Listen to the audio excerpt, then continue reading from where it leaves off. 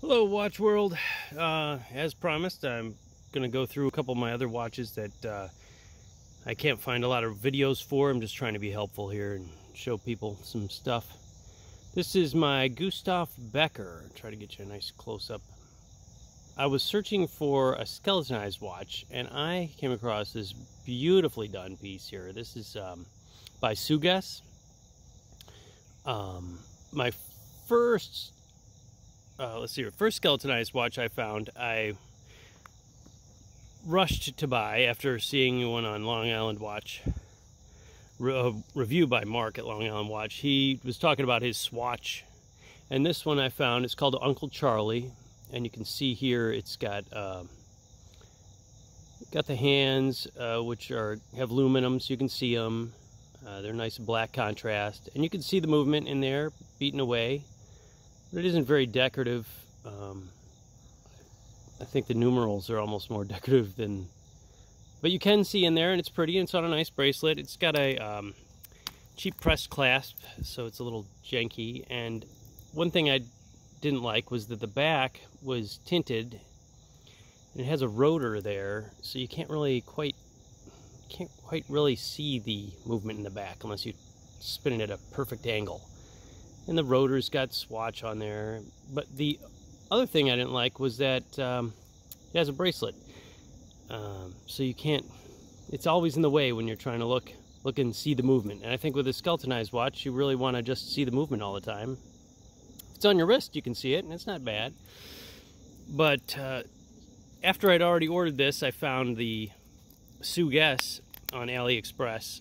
This is, uh, I think they call it the it's a Seagull movement ST3600 and it even says something about Constantine Vacheron. I really don't know what that is about, but it's got rose gold indices and black hands, which are a little harder to see, but not impossible. No seconds hand, but uh, this is a manual wind watch.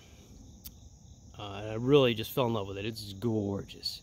The uh, ad on AliExpress shows really good macro shots and just how beautiful it is. Um, the back's beautiful. And, and also while I was searching for it, I found another one. Thank you, COVID. Got me online looking at watches too much. But this other Sugess, I'll do a review of this one too because I don't see a lot of reviews about it. This is a moon phase watch. Uh, and it's also manual wind. It's got the uh, another beautiful movement in it. It's got the um, was that the 1908 movement? So it's a mechanical chronograph uh, amazing price and just beautiful texture dial. I just really fell in love with that one. It's beautiful texture all over it. Um, oh well back to the watch I'm supposed to be reviewing. I'll do another review on that one. I'll give you more close-ups on that. Uh, that'll be one of my other. And I'm also going to do some reviews on these carnivals so stay tuned or subscribe if you want to find out about those coming out this one's just so beautiful. Look at the back of this. This movement is amazing. And it also came on a it came on a croc strap, a faux croc. I don't like faux croc, so I took that right away off and I found a nice antique uh, leather strap. I think this one's like bison, buffalo hide, something like that. It's just beautiful. And I didn't want the, it came with a came with a, let's see here, a deployant clasp. That's what they call those, a deployant clasp, which would have been in the way. So I wanted to get that out of the way from the lessons I learned from my uh, swatch to show off that beautiful back. And let me wind this thing up so you can see it moving and ticking. You can hear that. And you get like a, um, you get like a uh, improvised kind of what do they call that? A hour indicator or whatever. So you can kind of see how wound up your mainspring is. You see all of it. You get to watch your mainspring wind up. You get to see the beats ticking. You get to watch that tick. Oh it's beautiful. And even in the back as you're winding it you get to see you know the way winding uh, gears do their thing. It's beautifully done. Look at all that scroll work on the movement. This is 120 bucks, and I had bought another watch just because of the value. Like this, it was this uh, Cadisen here, this Cadisen Diamond, because it had a real fancy Miyota movement, uh, high beat movement, and it was um, you know just such a good value. And this one is an amazing value. Um, let me get my other watch box out of the way and take a little closer look, get you some measurements. All right, so without that deployant clasp, just lets you check out that whole watch. I was really impressed with the watch. It just looks so beautiful. It's advertised at 42.5 millimeter, and I was really hoping, hoping, hoping, hoping, because I have a small wrist. I got a six and three quarter inch wrist. I was really hoping they were measuring with the crown. Um, which unfortunately they weren't. they this is best as I can measure 42.8 42.6 it's right there. Um, and so that that it's not unwearable because it's also very thin. It is 9.6 9.6 so it's a real thin watch so even though it's big, the thinness is um, kind of helps with that. Oh, beautiful watch. Keep going to it. Um, the lugs are 20.8, so 21 mil. Um, I got a nice tapering uh, watch strap there, beautiful. The the another downside, another bummer because of my small wrist is the lug width or length, 50.6. So it's like 51.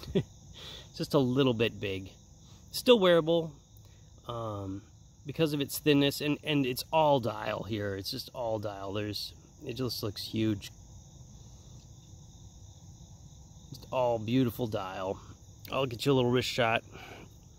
Um, it, back to value. Uh, an amazing value with the get this turned on here it's advertised as sapphire, so I had, and I haven't been able to find any videos, so I needed to find out if it was sapphire on the front and back. Now let's take a look and find out. Need one more, one more light on that first.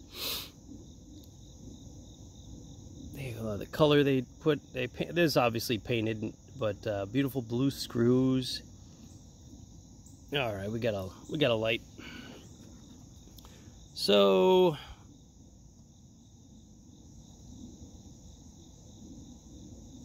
it is sapphire, as far as I could tell. Sapphire on the front.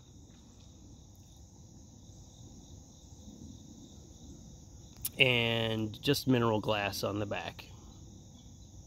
But it feels like a very thin sapphire. It isn't a dive watch. If you tap it, it isn't as thick as some sapphire on some of my other watches. Yeah, sapphire in the front. So there you go. And it's unside and crown, but it's a very just a smooth, clean, polished, polished case. The idea here being uh, just drag everyone's attention right to that movement, the beautiful scroll work on the movement. Oh, power indicator. That's what I was thinking. It's like an improvised power indicator. Eh, you know how brains seem to work. All right. Love the strap I put it on. Let's get it on wrist. Uh, before that, got to get you a wristwatch check. I'm wearing the Islander. Since I mentioned Mark earlier, I figured I'd better wear his Islander. The 38 millimeter green beast. Love that. All sapphire, sapphire. And I replaced the strap with the better, with a better um, strap code one. I like the Jubilee. On an SKX, I like the Jubilee look. It just keeps it more authentic. okay. All right, there she is on wrist. Um, I took the Sugess buckle off of the other Sugess, that chronograph, so I can keep it matching, although it doesn't mention Sugess anywhere on the watch, but I felt I should give them credit. Way to go, Sugess they're producing some pretty nice watches. That's a seagull movement that's been decorated beautiful. You could see that the um, the lugs are just a little bit long for my thin wrist, but it's not unwearable because it is real thin. It's uh, very thin. even though it's like almost 43 mil, but it just draws all your attention right to that beautiful, uh, beautiful dial, and you get to see straight through it. My only regret is I wish it was easier to pop off and show people the beautiful back, because um, I always want to show off this watch. All right, guys. Um, subscribe to get notified of my other reviews when they pop up. And if you got any questions, feel free to ask. I'll, uh, I'm just happy to put this out there so people can actually see this watch. It's not getting any credit out there. More people should be buying this one. Beautiful watch. Especially if you have a little bit bigger wrist. Anything over about a 7, this thing would fit just beautiful. It doesn't fit bad. It looks pretty good even on my 6 and 3 quarter. Thanks guys. Later.